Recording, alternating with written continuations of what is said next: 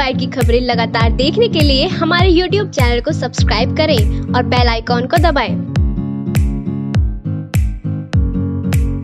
इस खबर के प्रायोजक है जैना ज्वेलर्स आबुलेन मेरठ। बहुत कुछ बदल गया। भारतीय किसान यूनियन के प्रवक्ता राकेश टिकैत का अंदाज भी, परिपक्वता कुछ इस कदर के सवाल जैसा हो, जवाब भी वैसा ही मिलेगा। अर्थ निकालने वाले निर्धार खुद निकालें, कुछ इस तरह। दूसरे संगठनों द्वारा चलाए जा रहे दिल्ली कोच में क्या भाग्य शामिल होगी? इस जवाब में राकेश टिकैत ने कहा कि वे दिल्ली क्यों जाएँगे? उनकी दिल्ली तो यही है। इशारा, मेरठ कमिश्नरी की तरफ़ समझा गया। सवाल, एमएसपी से जुड़ा आया तो बोल पड़े कि यह सरकार उद्योगपतियों की सरकार है। उद्योगपति परेशान न हो, इसके लिए ही एमएसपी लागू नहीं की जा रही है। क्या आज के आंदोलन के बाद दिल्ली जाएँगे?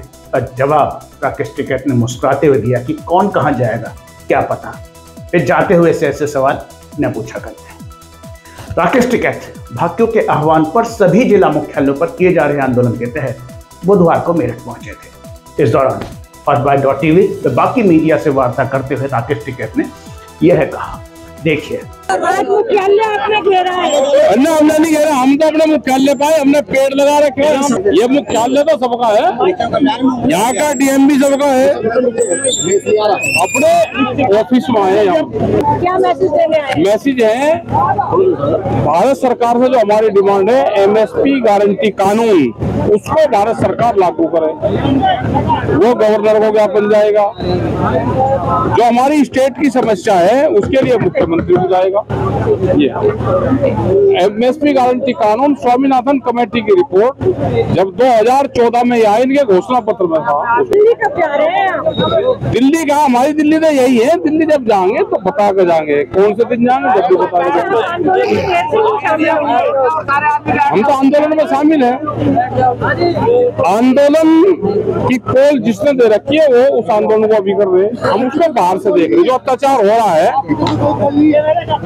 हमारी दिल्ली की नहीं कोल अभी हमारी दिल्ली की कोई कोल नहीं है। दिल्ली की जब हम कोल देंगे, जब जाएँगे, हमारी बाहर के प्रोग्राम हमारे चल रहे ये व्यापारियों की सरकार है।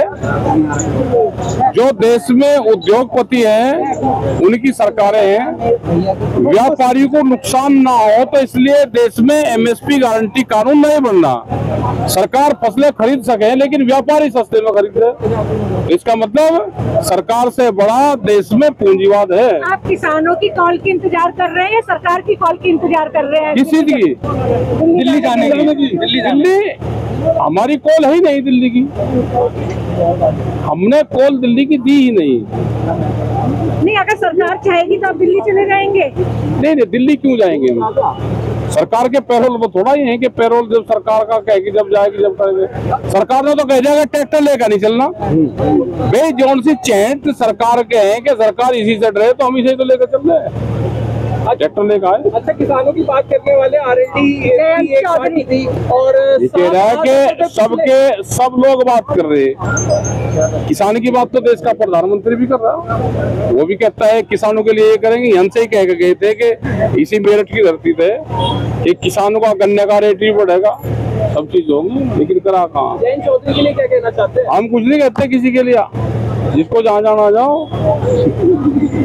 ये हमारा गठबंधन से किससे कोई संबंध नहीं है। हम नॉन पॉलिटिकल है, वे पॉलिटिकल है। अभी सरकार हमारे से बात नहीं करी सरकार से अभी हमारी कोई बातचीत नहीं होगी। आज 21 तारीख है। 22 जनवरी 2021 को आखिरी बार बात हुई थी। तीन साल से ज़्यादा हो गए। पाँचवें दौर की भी अगर बात जो है विफल होती है हाँ ठीक है। दस साल पहले मिलना चाहिए था। जो। उनके दरवाजे पे खड़े होते हैं उनको पहले बीजेपी के साथ नहीं हमें कुछ नहीं होता। हम किसी के बारे में क्यों गए नहीं आप बीजेपी में शामिल होंगे? आने वाले समय में? नहीं हम क्यों होंगे शामिल? हमारा संबंध क्या है पॉलिटिकल पार्टी का? किसानों से क्या कह रहा है कहा जामा वो? जिसका जहाँ मर्ज़ी हमें हमारे साथ में सब पार्टी के लोग हैं। हमारे साथ में सारे पार्टियों के लोग आते हैं। सब है। और जो हमारे साथ नहीं आता जो सरकार की बात माना दस साल पुराना ट्रैक्टर मत चलाओ। जिसका दस साल पुराना ट्रैक्टर चला रहा है वो वोट कहीं दे रहा। वो हमारे आंदोलन में शरीक रहे हमें है मतलब आंदोलन से।